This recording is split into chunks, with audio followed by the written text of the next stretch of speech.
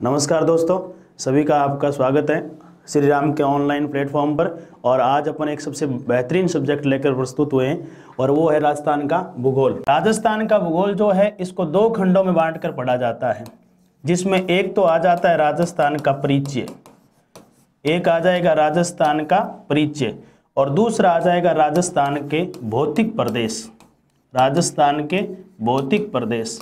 हमें राजस्थान के परिचय के अंदर भी इस प्रकार से मैं आप लोगों को बताऊँगा भी कि किस प्रकार से स्थिति को लेकर प्रश्न पूछे जाते हैं, किस प्रकार विस्तार को लेकर प्रश्न पूछे जाते हैं और राजस्थान का विस्तार भी कितने प्रकार का है, वो भी हम लोग देखेंगे। उसके बाद राजस्थान का जो आकार है, उसमें से किस प्रकार के प्रश्न पूछे जा सकते हैं और उसको हम लोग कैसे पढ़ेंगे, ये भी हम देखेंगे।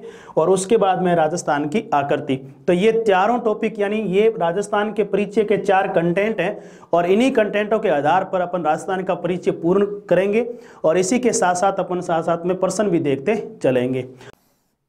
और इसी पृथ्वी को हम लोग दो भागों में बांट देते हैं और पृथ्वी को दो भागों में बांटने वाली जो रेखा है, उसको हम लोग क्या कहते हैं? भूमध्य रेखा। इसको हम क्या कह सकते हैं? भूमध्य रेखा। इसको भूमध्य रेखा भी कहा जा सकता है, क्योंकि ये पृथ्वी को या भूमि को दो भागों में बांटती है, और ये है कौन सी रेखा? पृथ्वी पर दो ही काल्पनिक रेखा है, एक तो अक्षांश है और दूसरी कौन सी है? देशांतर है। तो ये है कौन सी अक्षांश है? हमेशा अक्षांश और देशांतर ज़ीरो डिग्री से शुरू होती है। इसका मतलब हम इसको क्या कह सकते हैं? ज़ीरो डिग्री अक्षांश। उसके बाद में हम ये कह सकते हैं कि विश्वतीय रेखा भी इसी कहा जाता है, क्योंकि विश्व को कितने पार्ट में बांट रही है? दो भागों में।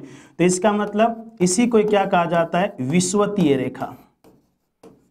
विश्वतीय रेखा। तो इस प्रकार के प्रश्नों में कभी कंफ्यूज नहीं होना है। इसी को भूमध्य रेखा, इसी को ज़ीरो डिग्री अक्षांश और इसी को क्या कहा जाता है? भूमध्य, यानी विश्वतीय रेखा कहा जाता है।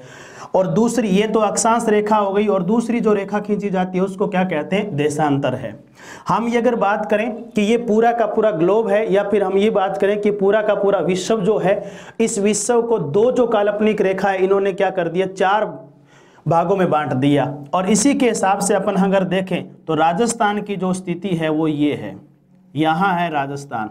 तो इसका मतलब ये हुआ कि विश्व या ग्लोब के संदर्भ में राजस्थान की स्थिति क्या हुई? तो ये दिशा कौन सी है? तो आप कहोगे उत्तर। ये दिशा कौन सी है? तो पूर्व ये दिशा कौन सी है? दक्षिण। और ये दिशा कौन सी है? पश्चिम। तो हम अगर वो पर्सन किस हिसाब से पूछ रहा है, अगर वो चार दिशा दे रहा है, अगर वो ऐसा पूछ रहा है कि राजस्थान की स्थिति ग्लोब पर कौन से गोलार्ध में है तो वो अगर चार गोलार्ध नाम दे रहा है, उत्तरी गोलार्ध, पूर्वी गोलार्ध, दक्षिणी गोलार्ध और पश्चिमी गोलार्ध तो देखिए राजस्थान कौन से गोलार्ध में आ रहा है, उत्तरी गोलार्ध। अगर वो आठ, यानी मतलब आठ दिशाओं के हिसाब से दे रहा है, जैसे राजस्थान की स्थिति जो है ग्लोब पर या विश्व में, उत्तर पूर्वी गोलार्ध, या फिर दक्षिणी पूर्वी गोलार्ध, या फिर दक्षिणी पश्चिमी गोलार्ध, या फिर उत्तर पश्चिमी गोलार्ध। इस प्रकार अगर ऑप्शन दे रहा है तो हमारा क्या हो जाएगा? उत्तर पूर्वी गोलार्ध हो जाएगा।